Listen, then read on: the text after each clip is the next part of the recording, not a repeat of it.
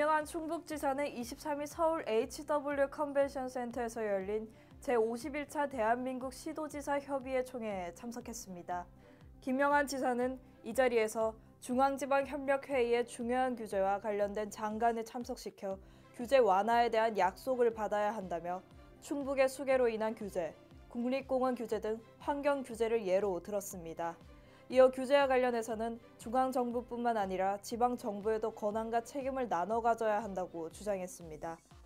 김 지사의 주장에 대해 타 시도지사들도 환경부 등의 과도한 규제를 완화하는 방안을 강구해야 한다고 거들었습니다.